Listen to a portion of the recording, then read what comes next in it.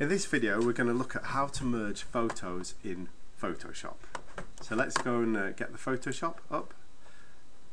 Adobe Photoshop.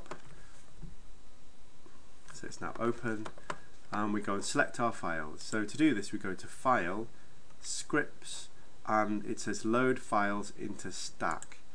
So this is going to load our separate image files, uh, each image in a different layer. So I'm going to two these images here these images and I'm going to say OK and I'll say OK here.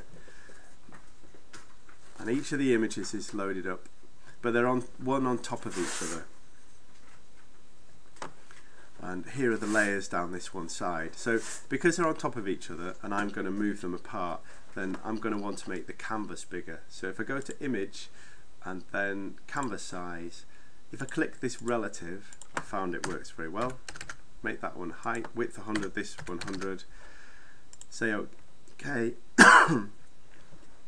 and if I make this down here, this percentage down to 10%, it gives me a better view. So there it is.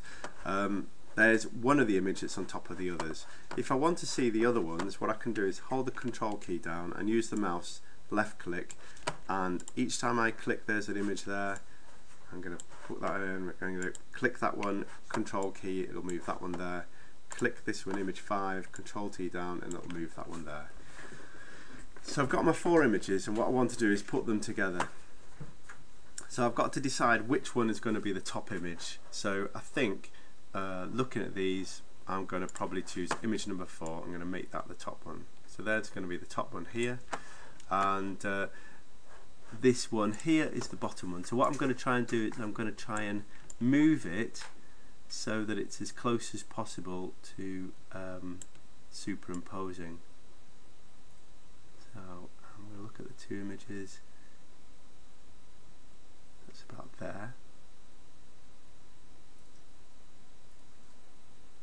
Stick that down a bit. It's about there. Okay, so that's now overlapped.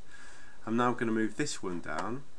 So it's this image here I can move it down. Now you can see at the moment it's on top and I actually said I want it on the bottom. So to do that um, I'm going to go over to this side here on the right hand side. I'm going to press control and I'm going to drag it down so it's below the central one. So now it's below. Um, and I will click it one more time um, and I'll try and move it now into its correct position. So a little bit tricky. It's about there. So that's in its correct position. And so I've just got this last one at the top to do. Uh, this one's going to be on top um, and I want it to be below so I'm going to move it down to here and I'm going to put it and you can see it's, it's nice and below now I'm going to click it there so that's the image of the filter. And what I'm going to do in a moment is merge them. But what I what I found is if I just take these images and merge them then the problem comes when there's one image on top of the other and it, um, I've got little spots on here these are little particles and it tends to create more particles than what's there. So the only bit I really want to merge is the bit where they're just overlapping just in a little bit of border and anything else I want to get rid of. So if I have a look at, um, uh, for example, uh, this one here, I'm going to need to cut out a little bit of this one. So if I go to my uh, rectangular tool here and I go there, I'm going to cut out that part there and it goes down a little bit down here I think somewhere underneath I'm going to cut bit more than probably what I need to. There we go. And I'm going to press uh, delete. Now you won't see any difference but what you will see is uh, is you'll see a difference in the picture here because you can see a little bit has gone. Um, so I've cut out uh, this one here. So next thing what I want to do um, is I want to cut out uh, this bit here from this one here. So I'm going to click that one go to the rectangular tool and I'm going to cut a, a bit there and press delete. So now I've cut that one, I've cut this one, and now I want to cut the bottom one. Go into there, and I'm going to cut that.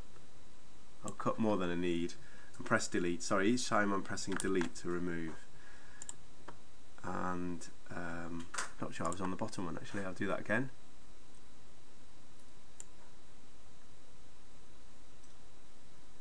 So there we go, and delete. So now if you look at the images, the only one that's not cut is the one on top and you can see little bits cut out of the other ones. So um, in fact this one here, this one at the top, we could do cutting a bit under here. So I'm going to go to that image on the top, this one here, and I'm going to crop a little bit out here because I'm not sure how much I did remove before.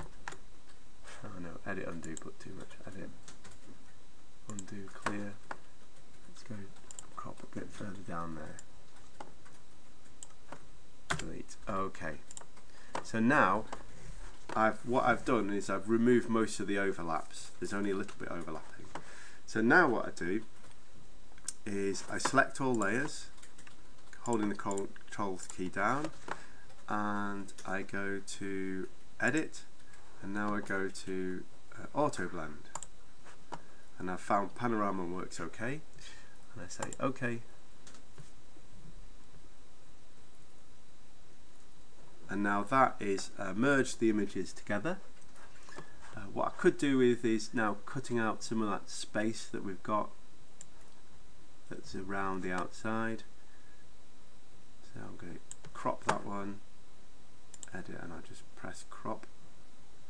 I can see it image crop and I could do it just cropping the top little bit of that. And that. Image edit undo. I did the wrong thing. Sorry. And then I'll just delete that image. And I'm going to crop. I don't know why it's doing that. Image. Undo crop. Right it should just be chucking out the top bit. But um, seeing it's not doing it for me right this moment I'm going to leave it. So at this point what you need to do is file uh, save as and you can save it as a JPEG file. There we go. I'll change it as, um, as merged image. But it's not totally merged because remember it's only merging at the edges. Save. Uh, I'll save it quality on high say OK. And there's my image. If I now go back into the file onto here merged image I can preview that and there we go. There's my merged image. And that's the image of the filter